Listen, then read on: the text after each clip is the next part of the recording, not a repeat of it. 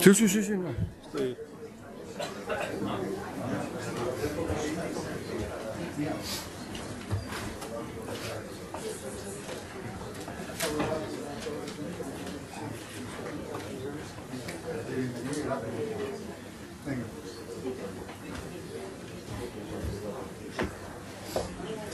Que habéis decidido empezar, vamos, ¿no?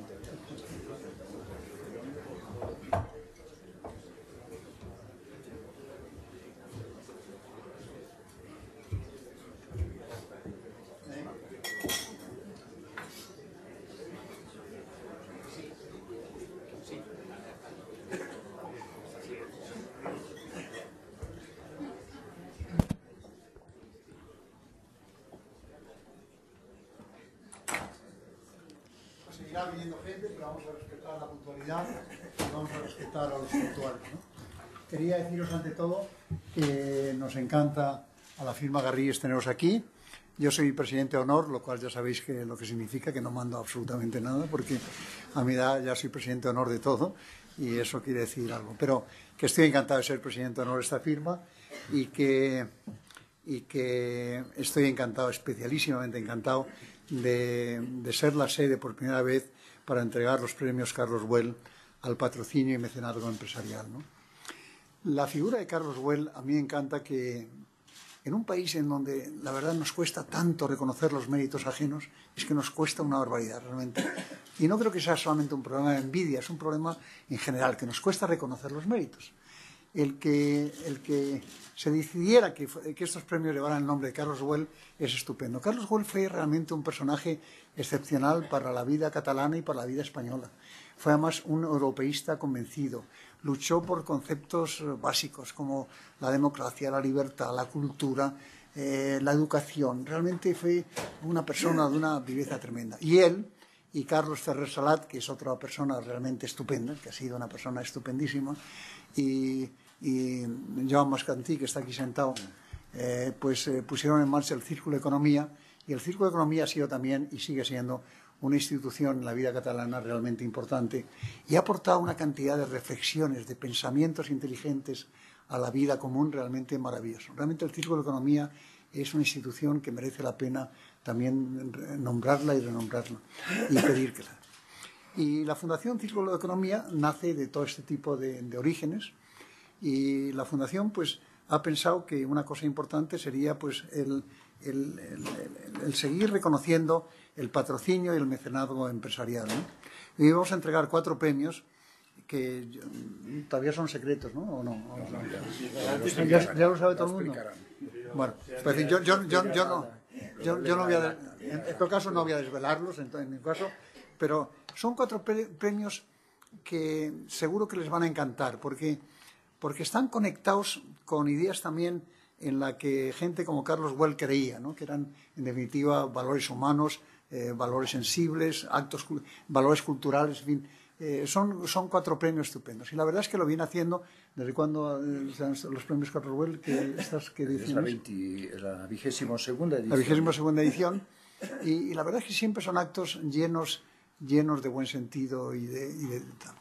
Como todo el mundo sabe, las relaciones entre España y Cataluña pasan su mejor momento y tenemos de verdad la confianza y la esperanza de que eh, después de las elecciones del 20 de diciembre eh, todo el mundo hayamos aprendido algo. Y yo creo que todos vamos a aprender algo. Yo creo que la derecha va a aprender muchas cosas, la izquierda va a aprender también una cantidad de cosas tremendas sobre qué es el poder y cómo se ejercita el poder. Y todo el mundo va a entender, todo el mundo va a entender que, que la democracia no consiste en estar de acuerdo, sino en convivir en desacuerdo. Y que se convive en desacuerdo a través del diálogo y que no hay ninguna otra fórmula que el diálogo. El día que se inventa otra fórmula distinta al diálogo, pues entonces. Pero el diálogo es la democracia y es el sentido de la democracia. Y yo creo que este pueblo, que es un pueblo sensato y que es un pueblo que tiene seni, no solamente en Cataluña, sino también a nivel global de España, va a, a lanzar un mensaje muy claro y muy vivo de que necesitamos diálogo, de que estamos en un país realmente resiliente, fuerte, que ha hecho las cosas muy bien, que mm, tenemos problemas como todo el mundo tiene problemas. Yo siempre digo que el que encuentre en estos momentos un país europeo que no tenga problemas, que, lo, que levante la mano, porque es que realmente estamos viendo lo que pasa en Francia, lo que pasa en Bélgica, lo que pasa en Holanda, lo que pasa en los países nórdicos. Es decir, es que todos los países están pasando problemas. Y yo estoy convencido, de verdad, que al final de todo este proceso, después del 20, después del 20 de diciembre, vamos a tener un mapa perfectamente, perfectamente manejable y perfectamente lúcido. A lo mejor nos llevamos alguna sorpresa, eso puede ser, pero en fin, ya estamos acostumbrados a ese tema. ¿no? En todo caso, simplemente yo lo que quería es darle la bienvenida aquí y pasar la palabra rápidamente a mi buen amigo Carlos Cuatrecasas, a quien realmente agradezco todo lo que está haciendo, todo lo que hace realmente para que esa, esa petición de, razonabilidad, de, diálogo y de entendimiento eh, acabe fecundando. ¿no? De modo que, Carlos, te escuchamos todos con mucho interés. Bueno, aquí ya, ya, veis todos que estamos reunidos otra vez para un premio de patrocinio y mecenazgo empresarial que la Fundación Círculo de Economía da y esta vez en su vigésima segunda edición. A mí me gusta empezar siempre aquí con la palabra queridos amigos. ¿Por qué? Porque por la composición de la mesa y por el público asistente me parece que es la forma más cordial y menos protocolaria de empezar. El pasado año, el eje central de esta reunión fue el homenaje a Carlos Güell, expresidente del Círculo, expresidente de la Fundación. Y siempre ha sido el gran impulsor de este premio. Hoy nosotros confirmamos este reconocimiento dando a estos premios su nombre, en virtud de un acuerdo unánime de nuestro patronato. Este acuerdo tiene para nosotros un doble significado. Por una parte, valorar y reconocer la visión de futuro, la iniciativa y la constancia que tuvo Carlos en la promoción y defensa del patrocinio mecenado. Y por otro, muy importante, impregnar el premio de su personalidad, de la amplitud de miras y de afectos por España y por Cataluña que tan claramente dejó manifestado Carlos en un inolvidable artículo que publicó en La Vanguardia muy poco antes de su muerte. Aquí también en este punto no puedo olvidar, también no quiero dejar pasar nuestro pesar por el fallecimiento de un querido amigo del, del Círculo de Economía, Leopoldo Rodés. Era miembro del jurado también. A lo largo de su vida promovió el mecenazgo, el patrocinio, lideró iniciativas muy ambiciosas en el ámbito artístico y cultural. Y además es un momento tan bueno para recordar que él tuvo un papel fundamental en la consecución de los Juegos Olímpicos de Barcelona 92, uno de los momentos más brillantes de la historia de Barcelona y de la historia de España. Y por otra parte, tengo que recalcar también a todas las personas, en la importancia de las personas que me acompañan en este momento. De Antonio Garrigues, pues, ¿qué, qué, qué puedo decir? Uno de los socios más antiguos, más antiguos del Círculo y patrono de nuestra fundación. Pere Vicens, secretario y, y, patrono de nuestra fundación, es el presidente del jurado y un socio también muy antiguo del Círculo. Y Antonio Brufau ha sido presidente del Círculo de Economía, es miembro del Consejo de Honor de la Fundación. Y a todos les une el gran afecto a la persona de Carlos Güell. La verdad es que a mí me cuesta siempre hablar mucho después de que hables tú, porque tú eres además una pieza clave en nuestra institución a la hora de reforzar las relaciones entre Cataluña y España, desde hace muchos años. Tu claridad de ideas, la ecuanimidad, la generosidad, he añadido ahora escrito aquí el optimismo, y la valentía en una coyuntura política que yo me atrevo a calificar de demencial, así como a la constante defensa que haces del diálogo, del pacto y de la solidaridad, merece nuestro reconocimiento. ¿Por qué? Porque son actitudes, desgraciadamente, muy poco frecuentes en este mundo, en este mundo de planteamientos radicales que nos toca vivir, y añado, y sufrir. Ahora nos encontramos reunidos en un acto de concesión de premios y teniendo en cuenta que entre los objetivos fundamentales de nuestra entidad, tanto el Círculo como la Fundación, el diagnóstico de problemas económicos, políticos y sociales y la propuesta de soluciones, como hemos priorizado en la Fundación la enseñanza y el mecenazgo, nos vemos obligados a insistir en este último tema que consideramos fundamental para el progreso del país. Ahora, hoy me tengo que hacer muchas preguntas en distintos temas. ¿Puedo decirles realmente algo nuevo sobre patrocinio mecenazgo? Porque la rutina y la repetición de argumentos se impone desde hace muchos años. Es cierto que a través del impuesto de sociedades hemos mejorado una serie de cuestiones, 35%, 40% en, en programas prioritarios de la ley de finanzas, los 150 euros para aportaciones personales, pero todavía estamos tan lejos de las ventajas fiscales de otros países, Francia, Estados Unidos. En otras ediciones del premio decíamos algo, que es que el colapso financiero del año 2008 puso fin a una época dorada de la economía mundial y, por supuesto, de la española, que había alcanzado grandes tasas de crecimiento. Hemos puesto de relieve repetidamente que las manifestaciones más notables del mundo económico, de la cultura, de la investigación, de la atención social, han experimentado un alto grado de sufrimiento porque la crisis económica los alcanzó sin la madurez institucional suficiente y sin los instrumentos y prácticas necesarios para garantizar la solvencia y la consolidación de su continuidad. Una y otra vez hemos afirmado que la colaboración pública y privada en materia de patrocinio y mecenazgo, que antes era conveniente, siempre ha sido conveniente, ahora y por mucho tiempo será insustituible, indispensable, y que se debe reforzar la complicidad pública y privada, disipando la tradicional desconfianza de los poderes públicos hacia la iniciativa privada. Esta desconfianza continúa a pesar de todo.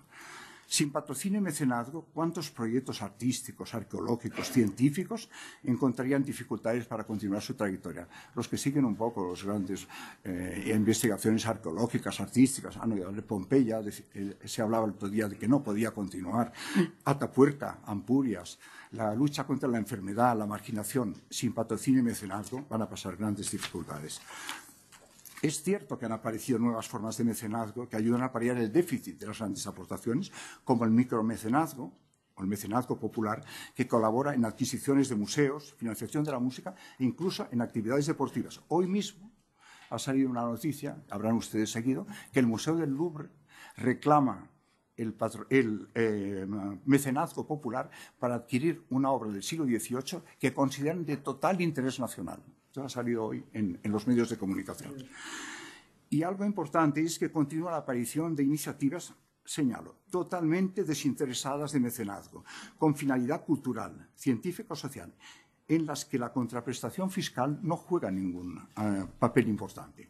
Entonces, como creo que de vez en cuando hay que refrescar la memoria, recordemos que la palabra mecenazgo proviene y recuerda la figura de Caius Cilnius Mecenas, que fue consejero del emperador Augusto, que le asesoró en su gobierno, le ayudó a firmar tratados, brindis y talento, pero lo que es más importante ahora es que era poeta y se rodeó de hombres de letras, de Virgilio, de Horacio, de Propercio, y que los protegió, y que los protegía por un amor desinteresado a la literatura, a la cultura, al arte el propio siglo de oro español tiene una figura paradigmática en el tema de los mecenas, ¿eh? es el conde de Lemos, séptimo conde de Lemos, eh, bajo el reinado de Felipe III. Protegió a Cervantes, protegió a Góngora, protegió a Crevedo, protegió a Lope de Vega, protegió también a algunos pintores, Rubens, Caravaggio, incluso a Galileo. Y aunque se dice siempre que existía pues, eh, realmente una relevancia social cuando te rodeabas de personas tan brillantes como ellos. Es cierto que los historiadores nos dicen que el conde de Lemos actuaba por amor al arte, por amor a la cultura, por amor incluso a la ciencia.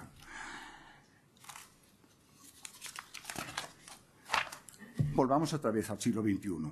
Seguimos en circunstancias muy difíciles. Por eso hay que manifestar el reconocimiento a todas aquellas empresas, fundaciones y particulares, personas físicas, que apoyan proyectos culturales, sociales y de investigación, a pesar del poco trato fiscal favorable que reciben. Y, por lo tanto, yo felicito a todos los candidatos a nuestros premios, hayan o no obtenido el galardón final. Hasta ahora hemos hablado del pasado y el presente del mecenazgo y del patrocinio. El futuro se lo dejaremos a Antonio Brufau, que con su brillantez habitual estoy convencido que nos va a iluminar posibles caminos que también nos den esperanza en unos tiempos mejor. Probablemente les sorprendería que yo acabara mi intervención sin referirme a la coyuntura política traumática que sufrimos y que el 27 de septiembre tuvo uno de sus episodios más inquietantes. Es una época de cambios profundos que deberíamos intentar canalizar y dirigir. Este es uno de los puntos que yo quiero señalar. Época de cambios profundos que deberíamos intentar canalizar y dirigir, porque sería una insensatez ignorarlos o minimizar su importancia. El Círculo de Economía desde hace 60 años y la Fundación desde hace 30 ha mantenido siempre bien abiertos los principios y los horizontes territoriales que dieron origen a su creación. Y aquí, antes has señalado tú, tenemos a Juan Mascandí, fundador del Círculo con Carlos Ferrer, socio número uno, que lleva esforzándose muchos años en mantener las esencias de esta institución, que son las que dieron lugar a su creación, y realmente colaborar de alguna forma en el entendimiento y en la gobernabilidad de este país. Nuestro ámbito de actuación siempre fue el análisis de problemas económicos, políticos y sociales de España y de Cataluña, y la propuesta de soluciones para el progreso y el bienestar de todo el país, no solamente de una de sus partes. Eso me gusta dejar constancia siempre en cualquiera de estas reuniones. Hemos tendido siempre puentes entre Cataluña y el resto de España, y al aparecer grietas en sus cimientos, no hemos dejado en el intento de analizar las causas, diagnosticarlas y proponer soluciones en la medida de nuestras posibilidades, y hoy seguimos pensando, sintiendo y actuando igual que siempre. Nuestras dos instituciones se han manifestado y actuado con el máximo respeto al Estado de Derecho y a la imperiosa exigencia de cumplir las leyes que democráticamente nos hemos dado. Así lo ha reiterado repetidamente el presidente del Círculo, Antón Costas, al insistir que las normas son para cumplirlas, en su caso, para cambiarlas, pero nunca para romperlas. Y este lenguaje nuestro no tiene variaciones territoriales. Lo mismo está, es para Madrid, para Barcelona, para Bilbao, para Sevilla, etc. Yo no exagero si comparo al Circo de Economía con un dique institucional que sigue asentado en sus criterios de racionalidad, ecuanimidad y diálogo y que hace frente hoy a mareas en las que confluye el soberanismo y el radicalismo antisistema eh, que pretende arrollar todo lo que hemos construido en estas décadas de democracia y de progreso. Yo decía el año pasado, me gusta repetirlo, que con nuestras afinidades y diferencias, con nuestros pactos y desacuerdos, hemos creado un país abierto y respetado, España. Un gran edificio que hoy presenta importantes grietas en su estructura y que el paso del tiempo no cierra solo, sino que al contrario tiende a agravarlas. Por eso me pregunto, sigo preguntándome cosas, si podemos asistir indiferentes al riesgo de que se derrumbe. Fisuras antes muy superficiales son hoy auténticas amenazas a la estabilidad de nuestra convivencia. Juanjo López Burniol, brillante escritor y notario, miembro además de la Junta del Círculo de Economía, el pasado sábado en La Vanguardia, en un magnífico artículo, nos recordaba unas frases del poema de Fernán González. Señor, por los nuestros pecados, non destruyas España. Probablemente recordarán todos que el poema de Fernán González fue escrito en San Pedro de Arlanza y según Menéndez Pidal en 1255. Si estas palabras que repito, Señor, por los nuestros pecados, non, des, non destruyas España, y las trasladamos al momento actual, también me pregunto cuántas confesiones de pecados políticos tendríamos que oír, seguidas de arrepentimiento, para aplacar la ira de los dioses y alejar estos negros nubarrones que intuimos en el horizonte. Por eso, en este momento, yo le pediría a nuestro gobierno, a nuestros gobiernos, que con la máxima energía y decisión utilizaran ambas manos para gobernar. La mano derecha para acabar de sacarnos de la crisis, para consolidar la recuperación, para reducir el paro, se está haciendo, se han conseguido grandes cosas, hay que reconocerlo, para aumentar el bienestar de toda la ciudadanía. Y la izquierda, para restablecer con inteligencia, habilidad y generosidad las relaciones entre los pueblos y comunidades de España, especialmente entre Cataluña y el resto de España sobre unas bases más justas de financiación, solidaridad, racionalidad en las decisiones económicas teniendo en cuenta, esto que creo que vale la pena, vale la pena decirlo, que las reclamaciones de una mayoría de ciudadanos catalanes no son tan diferentes en el fondo de aquellas de muchos ciudadanos españoles que en este momento están manifestando, como todos ustedes saben, su malestar. Ante aquellos que reclaman llevar nuestro edificio institucional al desguace, nosotros estamos convencidos de lo que se necesita es una revisión a fondo. Si la legislatura que ahora acaba es la de salida de la crisis económica, la próxima debe ser, junto a consolidar la incipiente recuperación, la de mejora de nuestra democracia. Y con esta claridad habría que manifestarse. Hace pocos días el Círculo dio a conocer una opinión bajo el título Después de las elecciones del 27S, diálogo, acuerdo y reforma. Lo sucedido en los pocos días transcurridos desde el 27 de septiembre no hacen más que dar la razón a las reflexiones y propuestas del documento. Yo les animo a que lo relean y si no lo tienen alguno, aquí se lo podrán dar. Debemos compartir la responsabilidad de fomentar los cambios que el país necesita para ofrecer un proyecto de futuro en que todos quepan, en que todos quepamos y que permita cicatrizar y cerrar las heridas y fisuras abiertas en los últimos tiempos. Cuantos esfuerzos hagamos para lograrlo, por duros que sean, habrán valido la pena. Y estoy convencido, porque creo que lo conseguiremos, comparto un poco tu optimismo, las generaciones presentes y futuras nos lo agradecerán.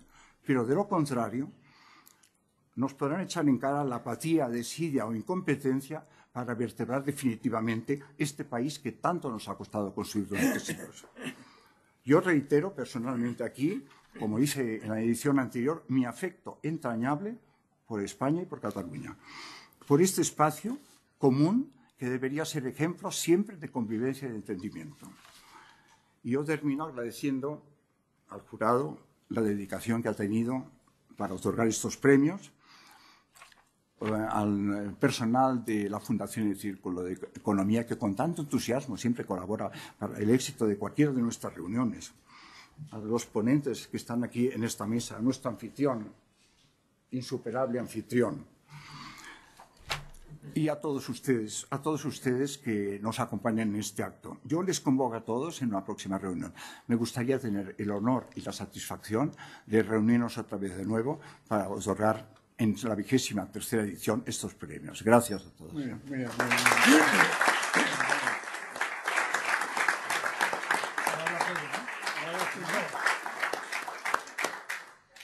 Pedro Vicens tiene la palabra. Buenas tardes a todos. Yo, en primer lugar, eh, quisiera agradecer a Antonio Garrigues eh, por darnos cobijo hoy en este magnífico auditorio que yo os conocía, pero que es realmente fruto eh, y culminación de lo que puede estar orgulloso. Y a Juan Mascantí agradecerle y citarlo porque colabora en la edición de estos premios, de los que fue y es uno de sus principales valedores.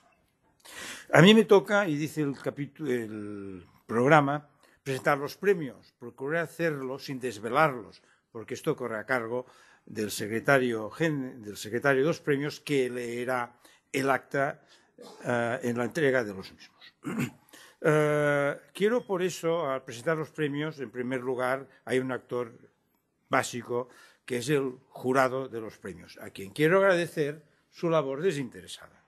En estos momentos sí que quiero unirme al recuerdo de Leopoldo Rodés, uh, ya se ha dicho, y gran mecenas, gran amigo y sobre todo miembro ilusionado de nuestro jurado que nos dejó tras un terrible accidente de tráfico. Uh, yo qué pensaba decirles, en la vivencia de estos años con el jurado uh, que me ha ayudado mucho y me ayuda y con la Secretaría de la Fundación que también nos ayuda muchísimo, hemos observado que el patrocinio y mecenazgo se ha consolidado como mecanismo de comunicación empresarial y, más aún, como una manifestación de la responsabilidad social de las empresas. Por todo ello, es cierto que cada vez son más las empresas que apoyan el mecenazgo, que lo hacen suyo. Y, en consecuencia, la Secretaría de la Fundación del Círculo y de los Premios cada vez recibe con gran ilusión y con gran agrado más y más candidaturas. Los miembros del jurado, como son tantas candidaturas, lo tienen muy difícil, pero el fruto de sus discusiones nos ha llevado, y hoy el verano hoy, a, premiar acciones innovadoras, innovadoras y de gran valor. Y verán por qué lo digo. Eh, porque este año los miembros del jurado han sabido anticiparse y dar un valor actual y añadido a los premios.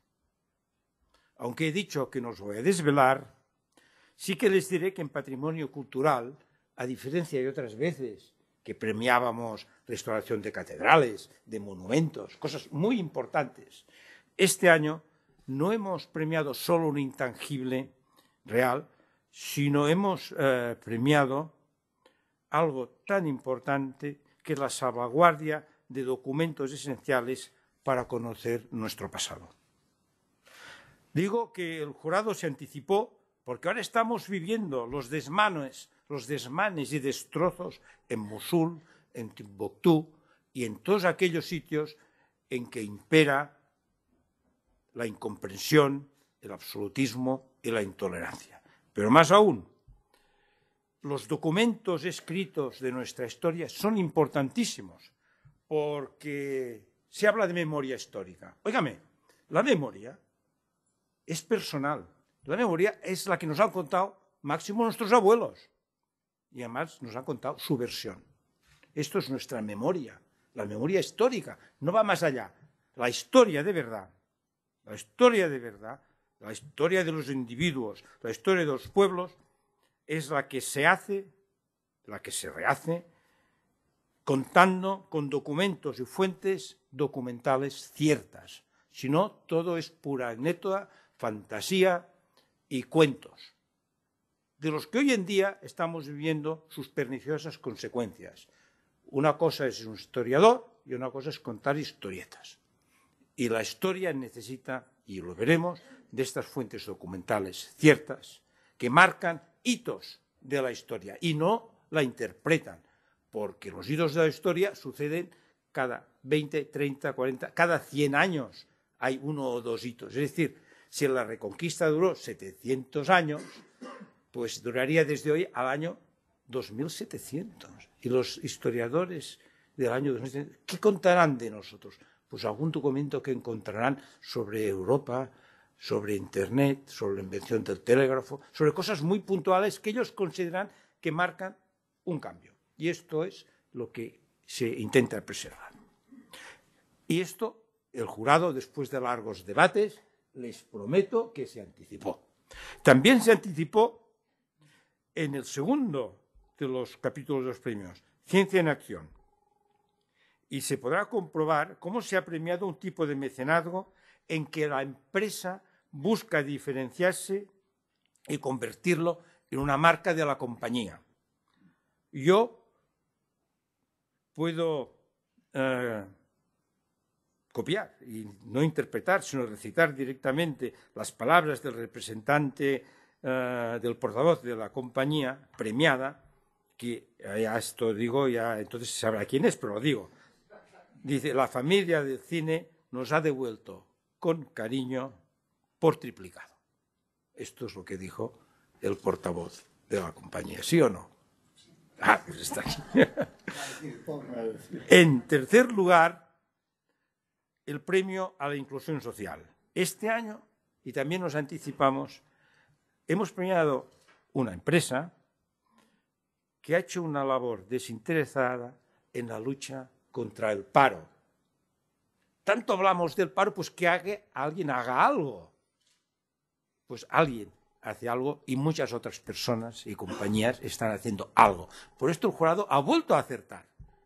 Yo cuando los veo, después de tanto hablar, veo que puedo estar contento y orgulloso de ser el presidente de este jurado tan, tan perspicaz. Y el premio al voluntariado alcanza su madurez y ejemplaridad. Ya verán, porque hemos premiado una empresa en la que participan todos sus empleados. Y esto es fundamental. No vale que uno se escaquee y otro no. He encontrado una especie de piedra filosofal en la que no se escapa nadie. Y esto es muy importante. Yo creo que los premiados están de acuerdo. Y los que no están premiados, también les quiero decir que los uh, uh, proyectos eran muy importantes. Pero se me acaba, se me acaba el hablar. Y, y claro, cuando uno ha de acabar, puede acabar diciendo un invento de uno o hablando por boca del mayor ingenio de la lengua española, eh, que es Cervantes. Cervantes, en la segunda parte del Quijote, que se celebrará el 400 aniversario el año próximo, en breve, es un poco el padre y entendió que era eso del patrocinio y mecenazgo, lo entendió muy bien. Y, y dedica el libro al conde de Lemus, que tú decías, y leo, además, pobre, dice que sobre estar enfermo, dice, estoy muy sin dinero.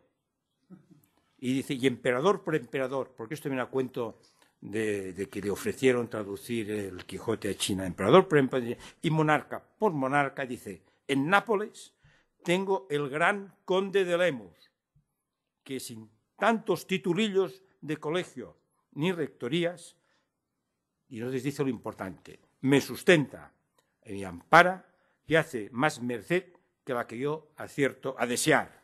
Por esto yo creo, para acabar, que sustentar, amparar y hacer el bien tendría que ser la norma ética del mecenazgo patrocinio, la ética de sustentar, la ética de amparar y la ética, sobre todo, de hacer el bien. Muchas gracias.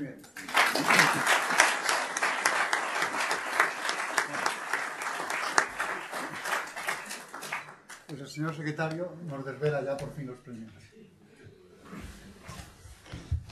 Muchas gracias. Como secretario del jurado, tengo el placer de anunciar la resolución de la vigésima segunda edición de los premios Carlos Güey al patrocinio y mecenazgo empresarial. Lectura del acta. En la reunión del jurado, presidido por don Pérez Vicente y Raola, que tuvo lugar el pasado miércoles 29 de abril de 2015, en la sede del Circo de Economía, el jurado, compuesto por Mariluz Barreiros, presidenta de la Fundación Eduardo Barreiros, Rafael Benjumea, presidente de la Fundación Duques de Soria, Joan Comella, director del Instituto de Investigación del Hospital de la Vall d'Hebron, José Corredor Mateos, poeta y crítico de arte, Carlos Cuatrecazas, presidente de la Fundación Circo de Economía, Patricia de Roda, directora general de la Fundación Lealtad, Milagros del Corral, escritora y asesora de organismos internacionales, Isabel García de la Rasilla, miembro del patronato de la Fundación Amigos del Museo del Prado. Borja García Nieto Portabella, presidente del Círculo Ecuestre. Antonio Garrigues Walker, presidente de honor de Garrigues. Liliana Godia, presidente de la Fundación Francisco Godia. Joan Molins Amat, vicepresidente y consejero delegado de Siemens Molins. Javier Nadal, presidente de la Asociación Española de Fundaciones. Pedro Ralda, secretario de los premios. Leopoldo Rodés, presidente de Abas Media. José Manuel Romero Moreno, socio presidente del Consejo Asesor de Chavari y Muñoz Abogados, Rosa María Ross, directora de Ciencia en Acción, y Antoni Vilacasas, presidente de la Fundación Vilacasas. Dicho jurado eligió a los ganadores de la edición 2015 según las categorías convocadas. En la categoría Patrimonio Cultural se premió el proyecto del apoyo a la conservación de los fondos CATI, presentado por DKV Seguros, del cual se valoró la oportunidad del proyecto en el momento actual, puesto que el patrimonio cultural de la humanidad se encuentra en peligro en diversas zonas del mundo, amenazado por el fanatismo. El valor que supone la recuperación de un foto documental que cubre una época histórica, el andalusí, de la que apenas se guarda testimonio y que vuelve a poder ser estudiado en España. La oportunidad de reconocer a la familia, que ha custodiado ese patrimonio y la oportunidad de reconocer a DKV por su iniciativa de adoptar el proyecto como propio, coordinarlo y movilizar esfuerzos de la sociedad civil, las empresas y las administraciones públicas y, en particular, a los excelentísimos ayuntamientos de Toledo, Tarifa y Jerez de la Frontera. Y, finalmente, la ejemplaridad del proyecto en tanto que supone un mensaje decidido a los gobiernos del mundo y la UNESCO para que planten cara a quienes causan destrozos injustificables al legado cultural de la humanidad. Recoge el premio el doctor Josep Santacreu, consejero delegado de DKV Seguros.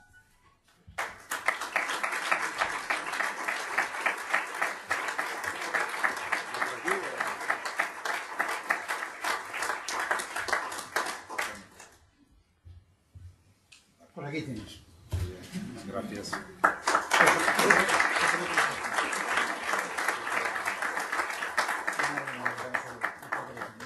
Estupendo. Muy bien. Gracias, Antonio.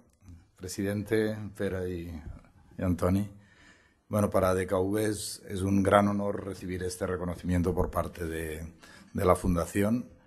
Cuando hace tres años y medio recibimos una llamada de emergencia de una situación que estaba sucediendo en Tombuctú, no teníamos ni idea de la importancia que tenía este proyecto para la historia cultural de nuestro país, la importancia que tenían los fondos y mucho menos nos podíamos imaginar que en estos pocos años nuestro mundo tranquilo, esta Europa tranquila y, y feliz, se viera pues de tan cerca agobiada por, por situaciones que, que, ya no podemos decir que ya no son nuestras. Empezamos con la mejor intención pues, de atender una llamada de emergencia, apoyamos a Ismael, a su proyecto, lo que sí puedo decir en estos, en estos poco tiempo que ha durado nuestra colaboración es que estamos encantados, hemos aprendido, nuestra gente ha tenido una mirada nueva hacia lo que pasa en el mundo. Hemos conocido un proyecto fantástico. Ismael ya se ha convertido en parte de nuestra comunidad como, como empresa y le estamos muy agradecidos porque él no es solo.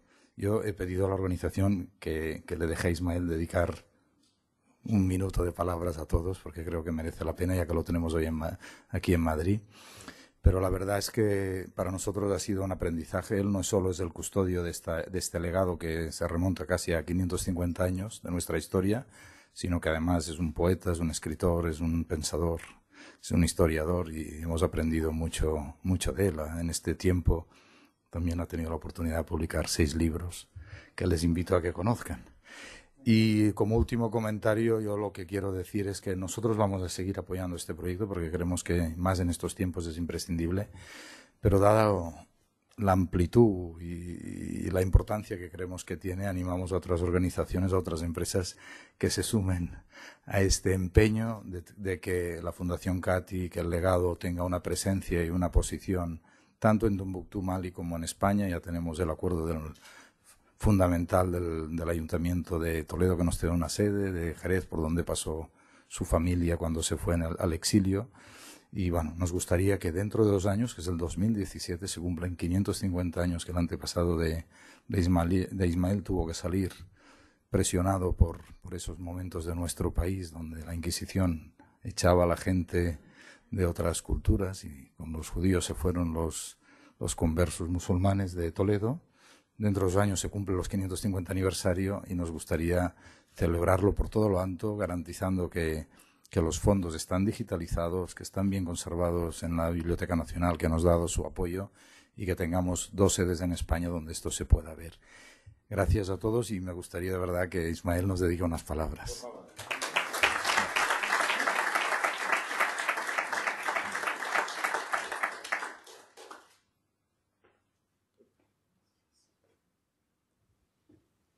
Gracias. Y es de agradecer que en estos tiempos de locura, en que el patrimonio mundial se destruye en nombre de verdades y de amor a Dios, que DKV Seguro reciba de la Fundación Circle Economy este premio. La Fundación reconoce la empresa el trabajo de salvaguardia de 548 años de lucha de una familia para preservar un patrimonio. Una biblioteca de 12.714 manuscritos que van del siglo XII hasta el XIX. Esta es la empresa de DKV y es de agradecer.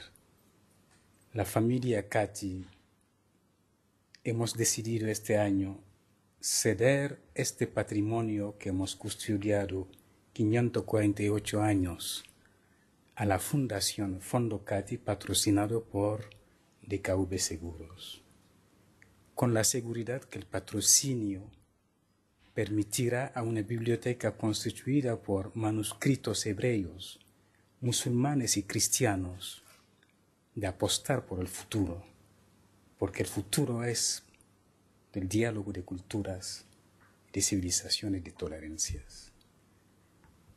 Estoy en la misma línea que Cervantes, muy a falta de dinero, pero sí muy agradecido también por todo lo que se ha hecho y uh, por todo lo que se vive ahora.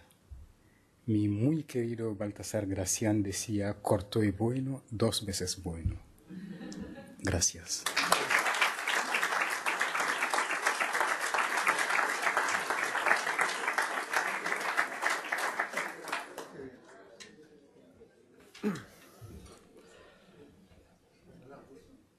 En la categoría Ciencia en Acción se premió la candidatura de Gas Natural Fenosa por su proyecto Cinergía, valorando, en primer lugar, el gran alcance público obtenido por la iniciativa Cinergía, la cual ha sabido aprovechar la popularidad del cine como canal de comunicación con sectores muy amplios de la sociedad, por su capacidad de sensibilizar a la sociedad ante un tema de vital importancia como es la eficiencia energética. Y finalmente, dado que la ciencia no solamente es investigación básica, sino también la divulgación de conocimiento y acercamiento a la sociedad, esta candidatura representa el fomento de la cultura científica, tal y como se entiende en las bases de estos premios. Recoge el premio Doña María Luisa de la Peña, directora de Marketing Corporativo y Marca de Gas Natural Fenosa.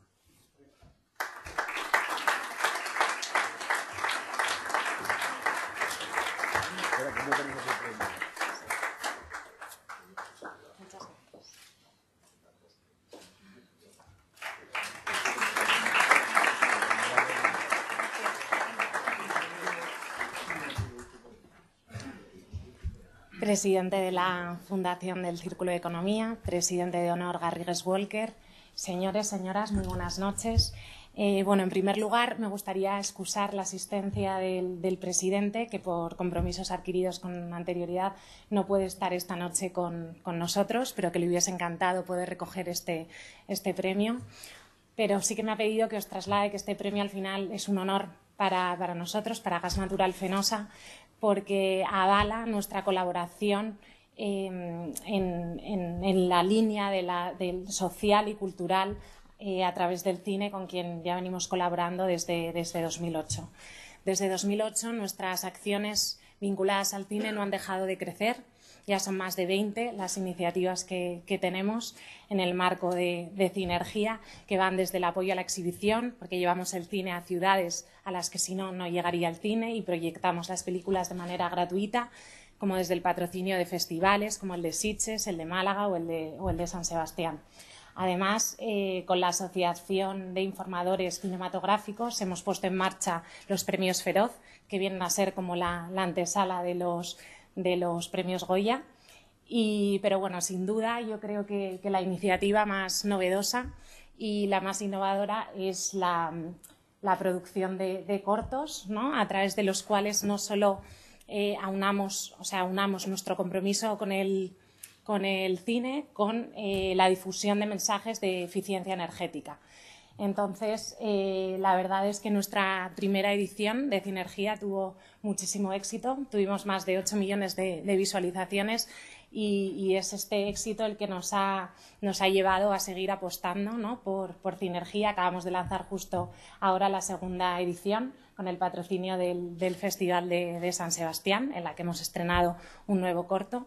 Y bueno, os animo a, ver nuestros cortos en la web y mm, la verdad es que nuestro compromiso con el, con el TIN es, firme y vamos a seguir trabajando en, en, este proyecto. Así que en nombre de Gas Natural Fenosa, muchas gracias.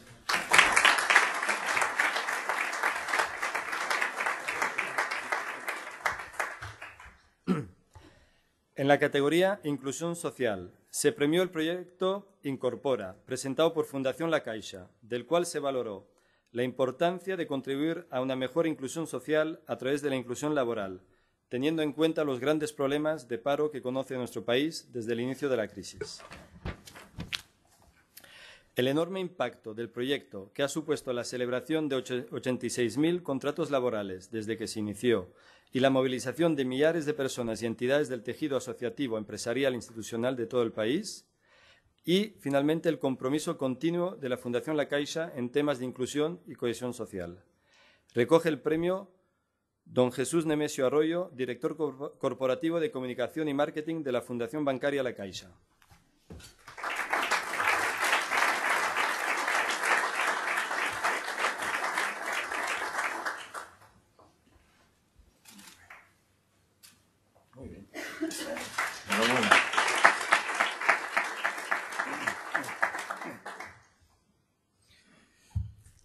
Presidente de la Fundación Círculo de Economía, presidente de Garrigues, parafraseando al presidente de la Fundación, queridos y distinguidos amigos todos, en, nombre del presidente de la Fundación Bancaria La Caixa, Isidro Fainé, de su director general también, Jaume Giró, eh, recibid la, gratitud con la que se nos otorga hoy este premio. Es un premio que, que, entrega una institución, la Fundación Círculo de Economía, con la que mantenemos unos lazos de afecto muy familiar y muy cercano. Y que evoca con merecimiento la figura de Carlos Well. Por tratar de hacer justicia a la generosidad de los miembros del jurado, comentaré que Incorpora se puso en marcha en el año 2006. En aquel momento fue un programa innovador porque nadie pensábamos que la crisis se iba a desatar con la virulencia que luego, que luego se ha desarrollado. Y en aquel año 2006 fueron 5.500 las inserciones laborales que se promovieron a través del programa. En estos momentos, Incorpora genera aproximadamente, y bueno, y, conviene decir que en aquel momento era un proyecto pensado para colectivos en riesgo de exclusión, específicamente para colectivos en riesgo de exclusión. Hoy, pues casi ocho años, nueve años después, el programa genera 18.500 inserciones laborales para todo tipo de colectivos. Eh, no resulta fácil escapar hoy en día a casi nadie de la etiqueta en riesgo de exclusión después de la crisis que se ha manifestado y que agrupa a 7.000 empresas, a 348 entidades sociales, a 762 insertores y un programa que hacen posible los 30.000 empleados de la Caixa, los 14 millones de clientes de la entidad financiera, los empleados y los clientes de las empresas participadas también por, por el grupo La Caixa. Bueno, un programa del que nos sentimos orgullosos y que, el presidente Fainé califica como el programa más, brillante que tenemos en, en estos momentos, porque cada uno de estos empleos supone verdaderamente una hazaña. Un premio, además de un reconocimiento, implica una responsabilidad y, y, un compromiso. Y es el compromiso con las personas es una de las señas de identidad más definitorias de la Caixa desde que fue fundada en el año 1904. Venimos manteniendo un presupuesto de 500 millones de euros en los últimos uh, ocho años, un presupuesto que nos convierte en la primera fundación de España, la segunda de Europa y la tercera del mundo por volumen de inversión presupuestaria, y un presupuesto que tratamos de administrar con, con responsabilidad y con, y con eficiencia. Aunque como decía el genio de las letras, el inmortal Miguel de Cervantes, al bien hacer nunca le hace falta premio, recibimos este premio con, con mucha satisfacción y sirve para nosotros de estímulo y refrenda nuestro compromiso. Muchas gracias.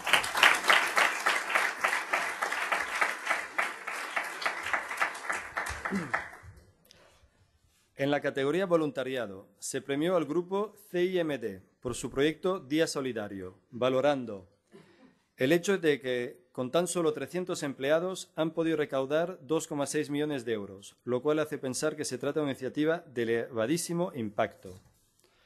El hecho que en la práctica el proyecto representa un proceso de doble voluntariado.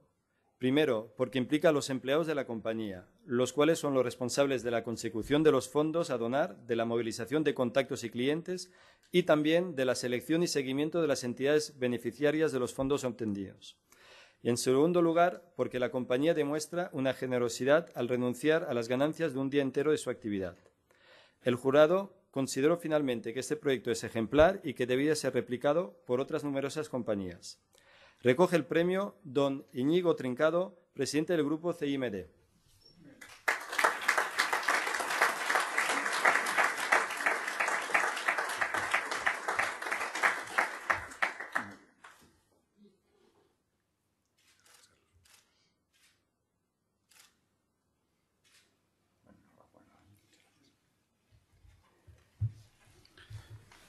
Señor presidente, señor Burfao, señor Garrigues, señor Vicens, estimados miembros del Consejo, señoras, señores, y me apunto a lo de queridos amigos o estimados amigos. Ante todo, expresar nuestro agradecimiento al jurado por, dar, por otorgarnos este premio del año 2015. Eh, para nosotros es un grandísimo honor el poder recibir un premio de una institución con la historia y con la reputación de la que goza el Círculo de Economía. También me gustaría, como presidente del Grupo CIM, agradecer a realmente los artífices de, este día solidario eh, que antes han estado explicando, que son realmente los accionistas, todos nuestros empleados y, por supuesto, los, los clientes. Me veo en la obligación, a diferencia de los anteriores premiados, a explicar de forma muy sencilla quiénes somos. Eh, llevamos 30 años, más de 30 años, realmente dedicados a dar acceso a los mercados eh, financieros y energéticos a, clientes institucionales. Además, tenemos otras áreas importantes para nosotros, como es la consultoría o como puede ser la titulización y más actualmente o más recientemente lo que es la gestión patrimonial y la gestión de fondos. Y bueno, pues desde aquí, desde este grupo, lo que hemos hecho eh, eh, ha sido vamos a ver, desde este grupo, perdón, llevamos ya 10 días con lo que hemos denominado el Día Solidario. ¿Cómo surgió esto? Pues como siempre, eh, llegamos a la conclusión de que había que hacer, las empresas deberían de hacer algo en el entorno donde realizan su actividad empresarial. Y el Consejo de Administración lo que decidió fue hacer una jornada muy especial que, como decimos, se llama el Día Solidario. ¿De dónde viene y qué consiste esto? Bueno, esto es una idea anglosajona que es lo que llaman ellos el Charity Day, y que consiste en que todos los ingresos de las diez compañías que tenemos eh, se dona a distintas ONGs, asociaciones o fundaciones.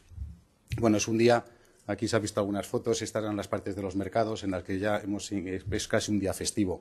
Les aseguro que ese día no falta nadie, todo el mundo trabaja más que nadie, y han dicho que, bueno, que, la empresa renuncia, renuncia a parte de sus beneficios, pero los empleados en estos mercados normalmente también tienen una participación en esos ingresos y, por lo tanto, también renuncian. Y los accionistas renuncian también a su parte. Por lo tanto, yo creo que a ellos es a los que, eh, a los que hay que felicitar de todo esto. ¿no?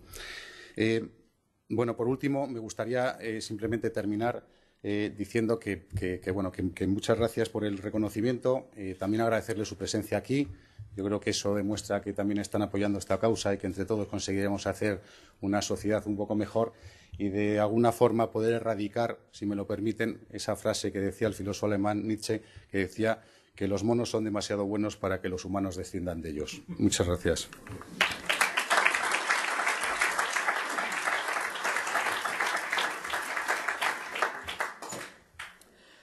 Para clausurar este acto, el presidente de Repsol y expresidente del Circo de Economía, don Antonio Brufau, nos dirigirá unas palabras. También quiero mencionarles a nivel logístico que cuando terminamos la, entrega de los premios, están todos invitados a un cóctel, pero pediremos a los premiados y al jurado de juntarse para hacer una foto de familia. Muchas gracias. Muy buenas tardes a todos. En primer lugar, me gustaría agradecer al Círculo, a su presidente, a Antonio, por recibirnos aquí, pues haberme invitado para, intercambiar puntos de vista sobre mecenazgo eh, y patrocinio desde el campo de vista o desde el punto de vista empresarial.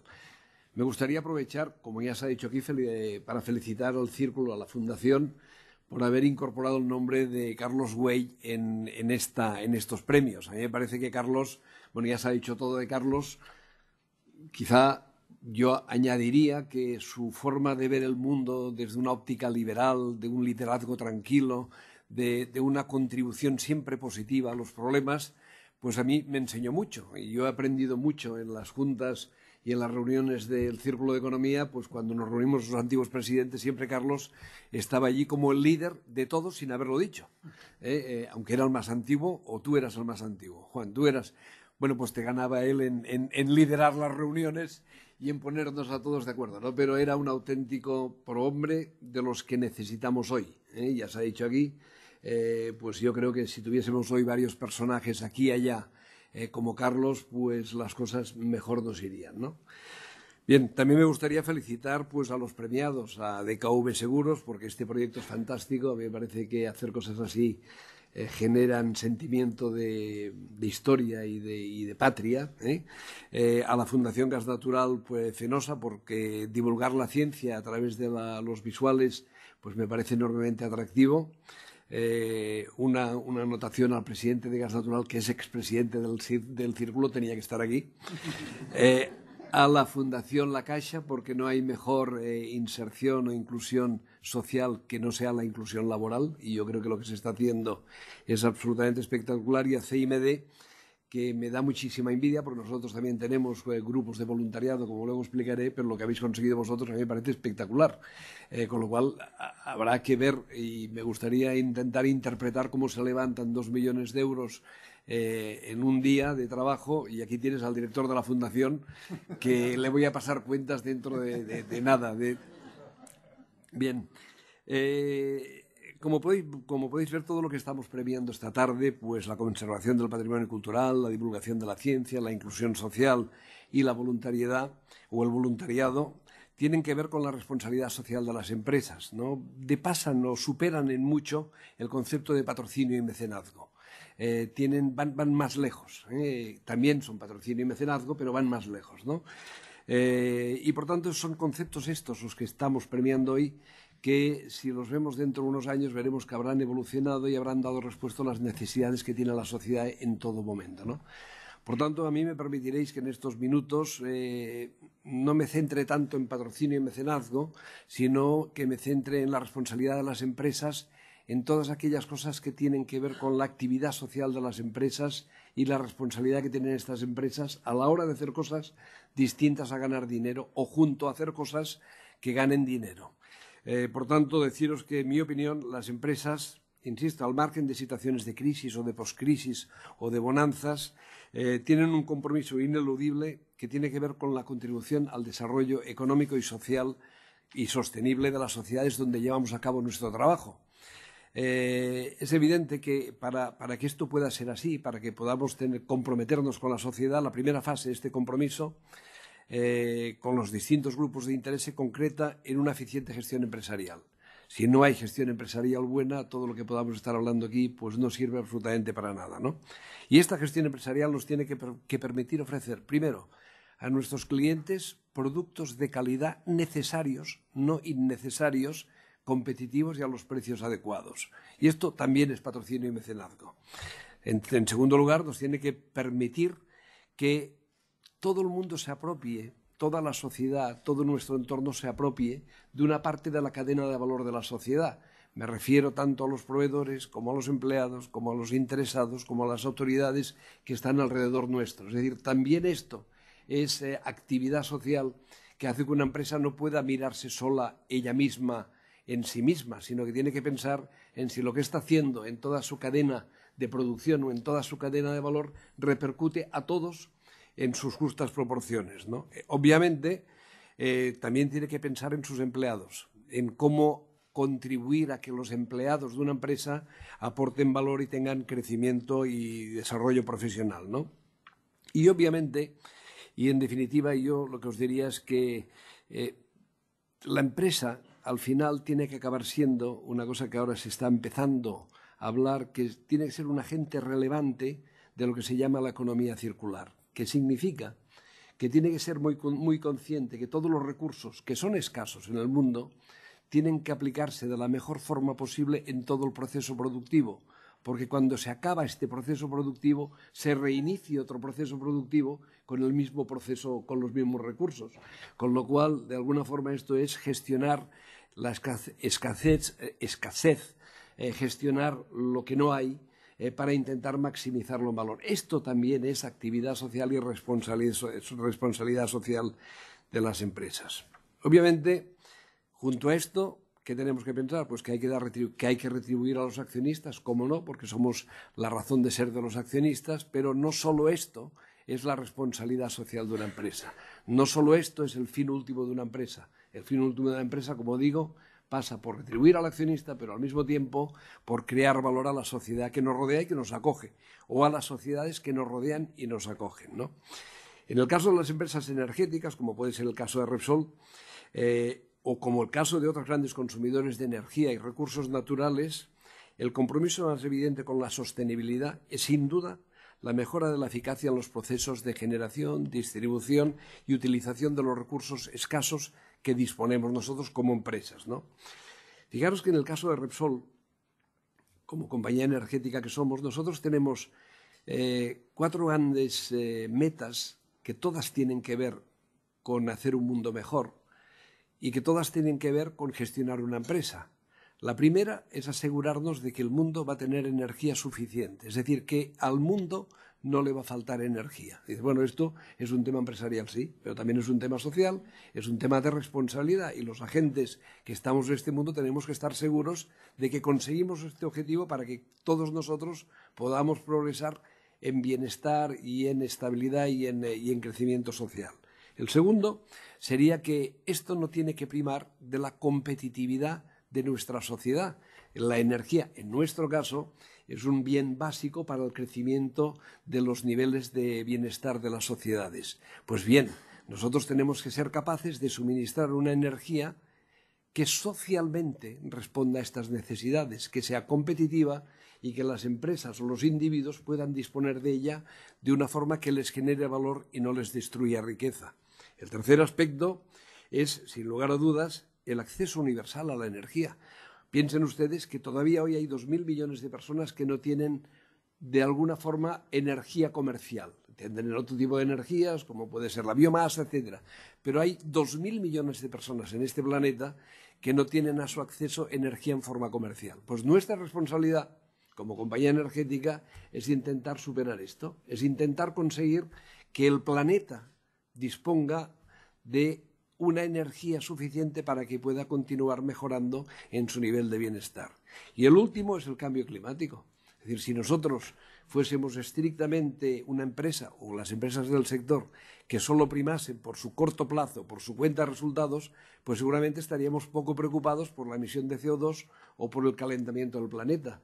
Evidentemente, la empresa que no esté preocupada en el campo de la energía por el proceso de calentamiento que sufre el planeta, pues está haciendo un flaco favor al planeta y un flaco favor a sus accionistas y un flaco favor a la sociedad, que supera en mucho lo que es patrocinio y mecenazgo, pero que tiene que ver con que la sociedad sea mucho mejor. ¿no? Por tanto, eh, si, si, si entendemos la responsabilidad de las empresas de esta forma, esto, que es un reto, necesita de una interrelación muy fuerte con la sociedad, intentar determinar qué necesita la sociedad de los agentes empresariales, energéticos o no energéticos, cuál es la demanda que se nos pone encima de nosotros. Obviamente cada vez somos más las empresas que entendemos, y esto para mí es muy importante, que la legitimidad para poder operar en cualquier sitio, lo que llamamos licencia social para operar, exige con frecuencia exceder la estricta legalidad en términos de responsabilidad social corporativa y asumir como objetivo la mejora de las zonas en las que llevamos a cabo nuestras actividades empresariales, poniendo en marcha todas aquellas iniciativas que entendamos son necesarias a los grupos de interés con los cuales nos estamos interrelacionando. Obviamente, cuando lo miramos esto a nivel de España, pues es una cosa, todo el mundo entiende lo mismo. Cuando ampliamos el espectro y nos ponemos a nivel planetario, pues podemos ver que cada país en donde las empresas, en este caso españolas, en este caso Repsol, estamos operando, tienen problemáticas absolutamente distintas. No tiene nada que ver una, una Perú naciente en desarrollo de una canadiense, de una Canadá, en donde el desarrollo ya lo tiene realizado. Y las empresas tienen que adaptarse a su hábitat natural, que es donde están operando, para que tengan precisamente esta licencia para operar no global, no te la da nadie, te la da cada una de las sociedades en donde tú estás involucrado. ¿no? Por tanto, eh, las empresas que somos socialmente responsables entendemos que nuestro compromiso con la sociedad forma parte de nuestra estrategia empresarial y asumimos ese compromiso de manera voluntaria. Nadie nos obliga a hacer lo que os estoy diciendo con la misma naturalidad que asumimos nuestro compromiso con nuestros accionistas o nuestros clientes. Yo, si me preguntáis qué hacemos de patrocinio y mecenazgo, os puedo decir unas cuantas cosas, pero seguramente, y intentaré hacer alguna reflexión, me iría más no al patrocinio y mecenazgo en su sentido estricto, sino a la actividad social que una compañía de energía y del petróleo eh, hace para mejorar su hábitat natural, que su entorno. Y a ello voy a ir en este momento. Es decir, nosotros eh, realmente, las empresas, eh, que, y en esto yo creo que los cuatro premiados son un ejemplo. Eh, lo, lo, que estamos premiando son actuaciones. En vuestro ADN no está esto, está mucho más. Está mucho más. Está en el ADN de cada uno, está en entender que la empresa tiene una responsabilidad superior a ganar dinero, junto a ganar dinero, insisto. Y evidentemente se premian proyectos, que son un ejemplo claro, ¿no? Pero cuando se premia gas natural Fenosa por el tema de, su acuerdo con el cine, no se premia esto. Se premia, se premia, la motivación para que la gente se motive por temas de, técnicos, por temas eh, científicos, o lo mismo en gas natural, o lo mismo vosotros, que los empleados, también nosotros, como os decía, tenemos programas de voluntariado en donde la gente pues va a dar de comer a gente pues con necesidades y esto pues son los sábados y domingos que empleados de Repsol pues se van a dar de comer a la gente que necesita ayuda. Esto es lo mejor que le puede pasar a una compañía. Esto no es un proyecto, esto es el ADN empresarial de una sociedad. ¿no? Por tanto, nosotros, eh, y permitidme que os hable un momento de Repsol para que entendáis lo que quiero decir, eh, pues canalizamos todos estos esfuerzos en dos vías. Primero, incorporando al ADN de los 26.000 señores de Repsol que tienen que hacer cosas distintas a ganar dinero. Segundo, tenemos una fundación que canaliza y gestiona, dirigida por Ignacio, todo aquello que de alguna forma requiera de una actitud puntual. Pero en el ADN de la empresa tiene que estar otra cosa, es decir, tiene que estar la actitud de servicio, de negocio y de servicio a la sociedad. ¿no? Nuestra fundación es una fundación relativamente joven, pero contamos con proyectos y programas ya muy consolidados, que están dando sus frutos y de los que nos sentimos muy orgullosos. ¿no? En los últimos eh, años hemos mantenido nuestra inversión a pesar de la crisis y a pesar del precio del petróleo. Es decir, por tanto, esta actitud no tiene nada que ver con las circunstancias económicas de tu entorno, porque a 50 dólares barril, cuando vivíamos en un mundo de 100, pues hubiésemos parado todos los proyectos y programas de la Fundación. No es esto porque los 26.000 señores de Repsol, pues los 26.000 están trabajando precisamente para esto, ¿no? ¿Qué hacemos en Repsol? Pues trabajamos mucho en el ámbito de la diversidad y la integración. Que podríais preguntaros, ¿y por qué Repsol está preocupada en cómo, trabajar y mejorar la diversidad de su gente y cómo encontrar valor en la integración de esta gente? Creemos en la Fundación y en Repsol que en una sociedad la igualdad de oportunidades tiene que ser una auténtica realidad. En la diversidad está la grandeza y el talento no es patrimonio de unos pocos, que si te dejas llevar acaba siendo así. Nuestro objetivo es contribuir a la plena integración de las personas con capacidades diferentes, a través del respeto a la persona y a su diversidad.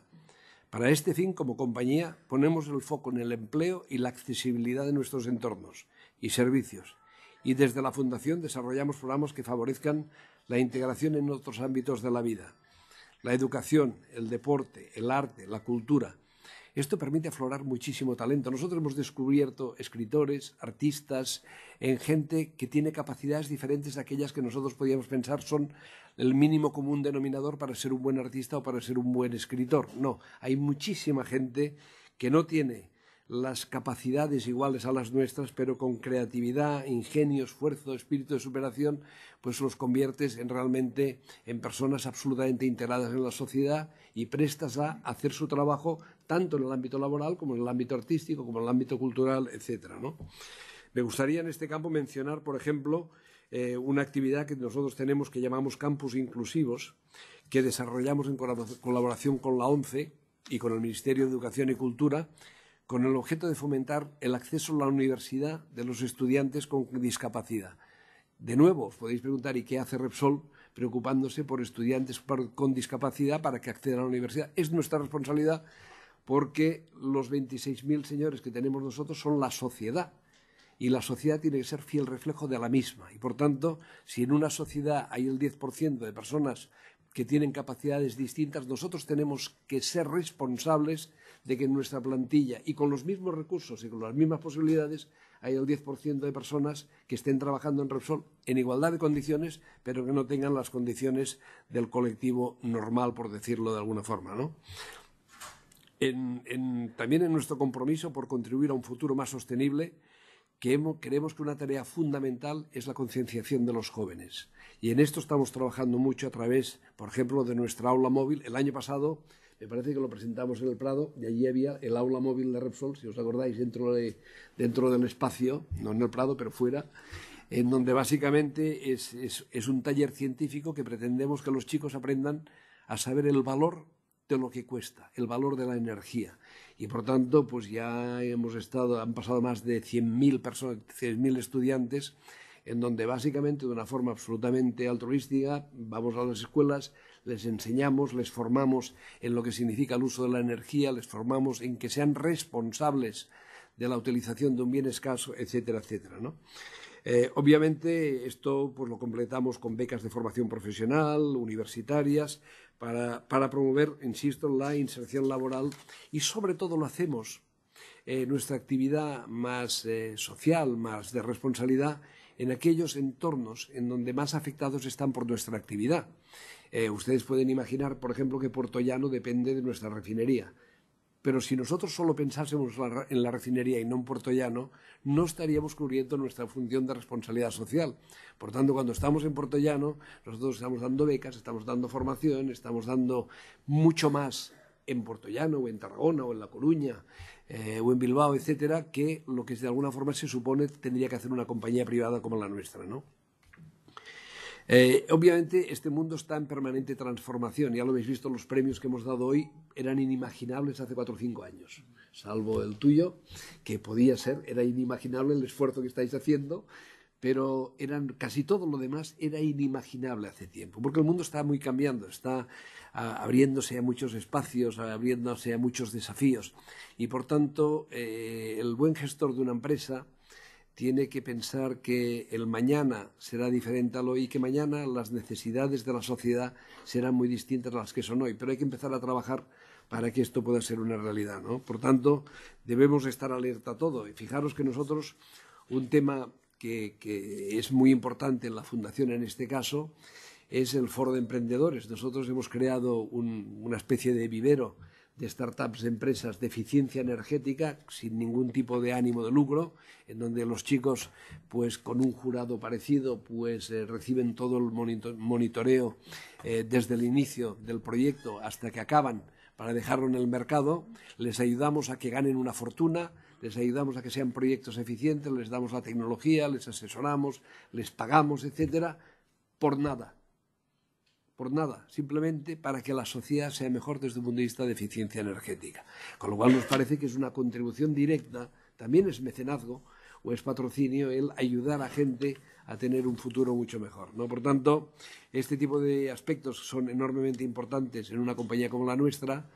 No presumimos de ello, porque creo que lo mejor que puede hacer una compañía es no presumir de sus activos, en todo caso preocuparse de sus pasivos y el mejor activo que puede tener una compañía es tener esta, esta actitud de ayuda a la sociedad y de dar respuesta a la sociedad en su propio ADN de todo el colectivo. ¿no?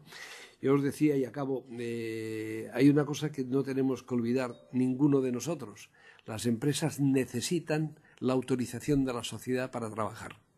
Sin ella, sin esta licencia social para operar, no sirven las empresas. Un día u otro fracasarán. Pueden ser proyectos puntuales, pero si quieren o si tienen voluntad de permanecer en el tiempo, necesitan este derecho que les da la sociedad a continuar trabajando en la sociedad y por y para la sociedad, insisto, junto con los accionistas. Por tanto, felicitaros a todos, eh, de nuevo agradeceros este, este, este, estos minutos insisto, recalcar que lo que estamos hoy celebrando de pasa con muchos proyectos, va a las culturas de cada uno de vosotros eh, y, creo que España es un ejemplo y un modelo a seguir en todo lo que están haciendo las empresas. Y yo estoy hablando de Repsol, pero cualquiera de las empresas eh, grandes que hay en España y medianas que hay en España eh, y las pequeñas también en su, en su justa medida están trabajando para que, que la sociedad que les rodea sea mejor, ¿no? Y yo lo veo en, todo,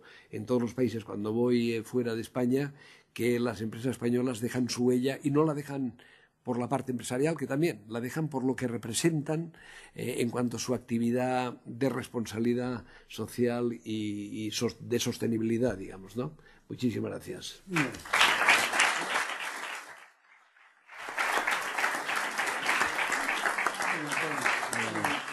Bueno, vamos a dar por terminado el acto, pero de nuevo yo quiero agradecer y felicitar a todos los que han sido galardonados con estos premios.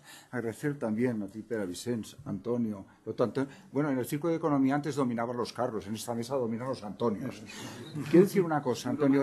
Antonio te he dicho antes que yo esperaba que tus palabras nos abrieran el camino a la esperanza en un tiempo mejor. Y la verdad he aprendido muchísimo. He aprendido muchísimo porque hemos entrado, eh, a ver, eh, un este optimismo que respira Antonio muchas veces sale de tus palabras, porque que haya empresas que sean capaces de unir la exigencia del beneficio con la responsabilidad, con la ética, eh, con la racionalidad en, en sus decisiones de cara al bienestar de la humanidad, realmente te digo que es algo que diría incluso sorprendente, sorprendente en un mundo que parece que no valora estas cosas.